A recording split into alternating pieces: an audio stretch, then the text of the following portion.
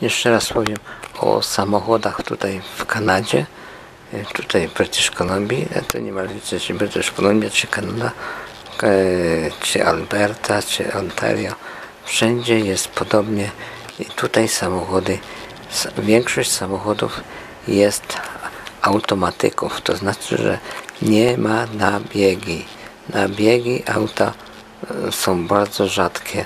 Oczywiście można sobie kupić nabiegi, jeżeli ktoś chce, tak, ale 90% samochodów jest automatyków i jak kupujemy ten samochód, nie ma różnicy w cenie, czy to jest automatyk, czy to o, ręczna skrzynia biegów. Po prostu tutaj takie są zwyczaje i każdy lubi jeździć automatykiem, bo jazda automatykiem to jest przyjemność, naprawdę należy do przyjemności. Nie wyobrażam sobie jeździć mm, na biegi.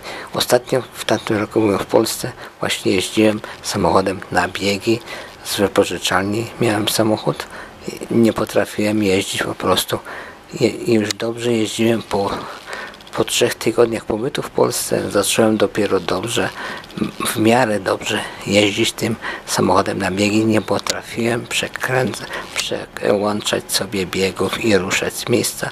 Tak samo stawał mi na światłach, na skrzyżowaniach. Miałem wielkie z tym problemy, z czego na automatyku nigdy takie rzeczy nie miałem. Dziękuję.